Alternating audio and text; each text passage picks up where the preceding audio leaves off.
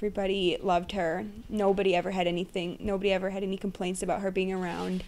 And um, she had lots of dog friends around the town. And Madeline, Mummy, and her mom, Alice, operate the inn at Beulah Beach. Their dog, Honey, was a mascot for the inn, but died Saturday night after eating potentially poisoned cat food. We have never actually seen someone intentionally in a populated neighborhood try to do something like this.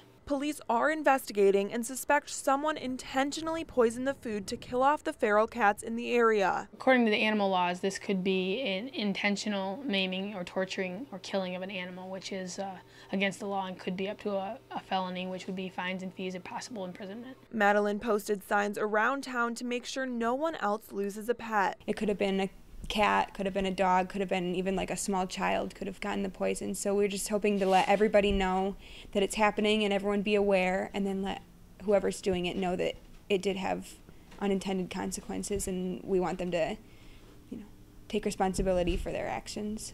But they are trying to make the best out of the situation. They took in the kittens of the feral cat that also died from eating the food.